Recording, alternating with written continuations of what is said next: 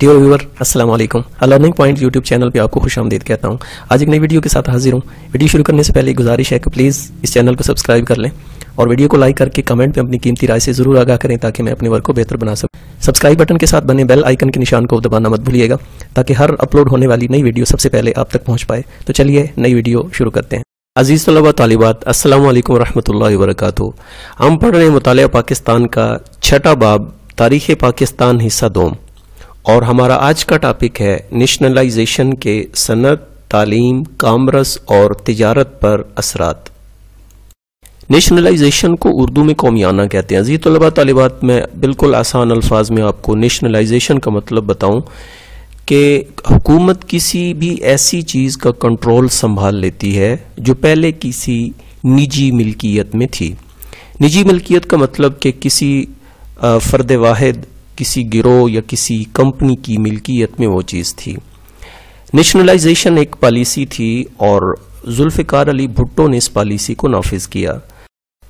अयूब खान के दौरे हुकूमत में दौलत चंद मखसूस लोगों के हाथों में थी, जिसकी वजह से माशरे में एक बहुत बड़ा तबकाती फ़र्क पैदा हो गया था और इस तबकाती फ़र्क की वजह से जो आला तबका था आवाम में उसके लिए बहुत ज़्यादा नफरत पैदा हो गई। जब जुल्फ़िकार अली भुट्टो का दौरे हुकूमत आया तो उसने नेशनलाइजेशन के पॉलिसी के ज़रिए इस सूरत हाल पर काबू पाने की कोशिश की। नेशनलाइजेशन की पॉलिसी के तहत जुल्फ़िकार अली भुट्टो ने बहुत से इदारे अपने तहवील में लिए। अब नेशनलाइजेशन की इस पॉलिसी के बहुत ज़्यादा असरात मुरतब हुए खसूस सनत, तालीम, कामरस और तजारत पर।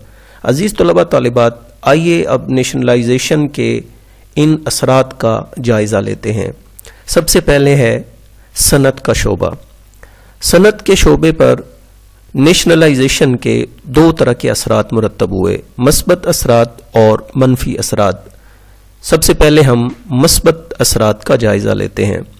नंबर एक 1972 में जुल्फ़िकार अली भुट्टो ने जो लेबर असलाहत की थी, इससे सनती मजदूरों का इस्तेसाल ख़त्म हो गया और उनकी तनख्वाहें बढ़ी और जो उनको सहूलियात कारखाने या फैक्ट्री की तरफ़ से दी जा रही थी, उनमें भी इजाफा हुआ।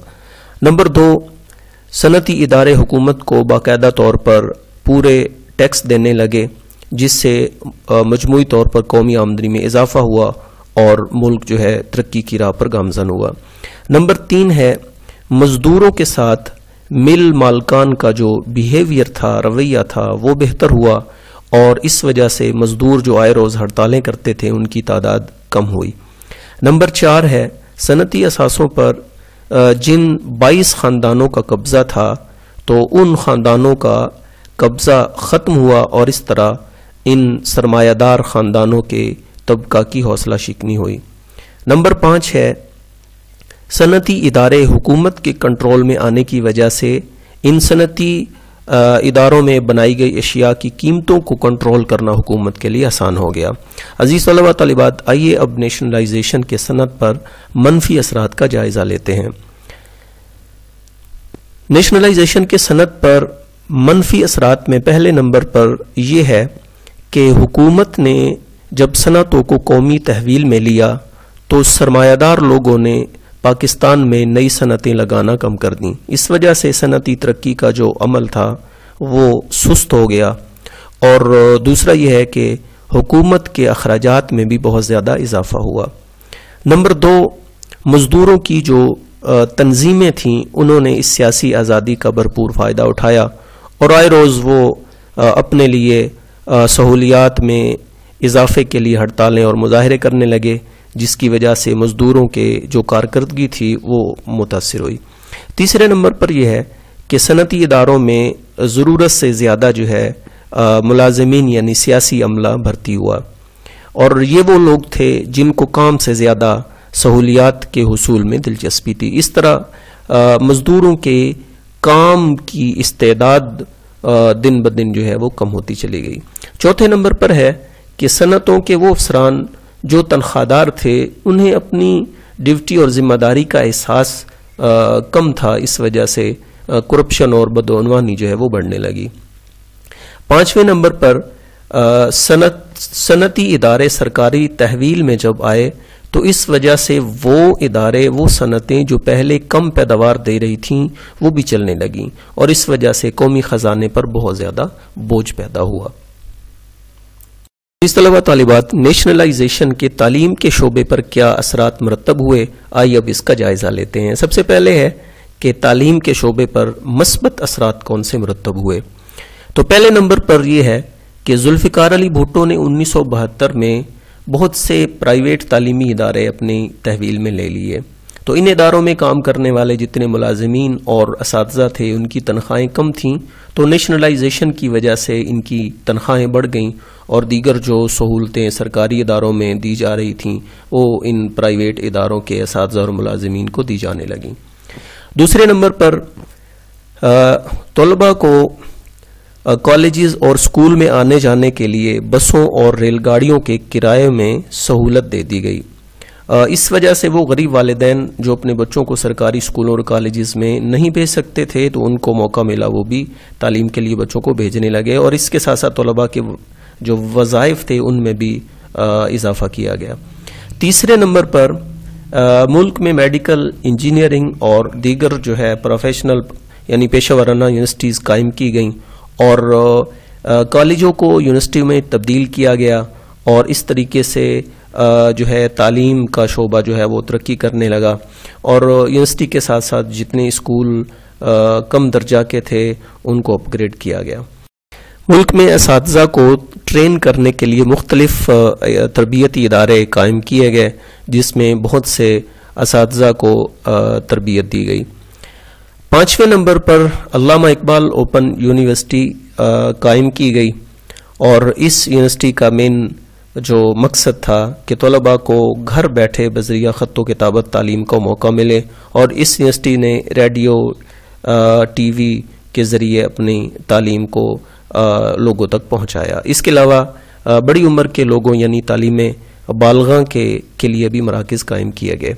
अज़ीज़ तलबा तालिबात नेशनलाइजेशन के तालीम पर मनफी असरात कौन से मरतब हुए? आइए अब इसका जायज़ा लेते हैं। सबसे पहले नंबर पर के निजी तालीमी इदारों को हुकूमत ने जब अपने कंट्रोल में लिया तो इन इदारों के जो इस और मुलाजमीन थे उनकी तनख्वाहें भी हुकूमत को अपने कौमी ख़जाने से देना पड़ी। इस वजह से कौमी ख़जाने पर बहुत ज़्यादा बोझ पड़ा और हुकूमत की मुश्किल में इजाफा हुआ। दूसरे नंबर पर यह है कि प्राइवेट तालीमी इदारे जब हुकूमत ने कंट्रोल में लिए तो इससे इन तालीमी इदारों के जो मालकान थे, वो बहुत ज़्यादा नाखुश थे और वो मुसलसल इस कोशिश में थे कि अपने तालीमी इदारों को हुकूमत से वापस लिया जाए। तीसरे नंबर पर यह है कि तलबा को किरायों में जब बहुत ज़्यादा रियायत दी गई तो ट्रांसपोर्ट के मालिकान और तलबा के दरमियान में एक कशमकश की सूरत हाल पैदा हुई और हुकूमत के लिए अमन अमान का मसला भी पैदा होने लगा। नंबर चार, तलबा को हद से ज़्यादा आज़ादी दी गई तो इसका नतीजा ये हुआ कि तलबा तालीमी दिलचस्पियों से दूर होने लगे और इस वजह से उन तलबा के वालदेन जो हैं, वो बहुत ज़्यादा परेशान हुए। पाँचवें नंबर पर कॉलेजेस और यूनिवर्सिटीज़ में तलबा की तंजीमों ने बाकायदा तौर पर सियासी जमातों के ग्रुपों की सूरत इख्तियार कर ली और हुकूमत के लिए अमन अमान का मसला पैदा कर दिया। अज़ीज़ तलबा तलबात, आइए अब नेशनलाइजेशन के कामरस और तजारत पर असरात का जायज़ा लेते हैं। सबसे पहले कामरस और तजारत पर नेशनलाइजेशन के मस्बत असरात को देखते हैं।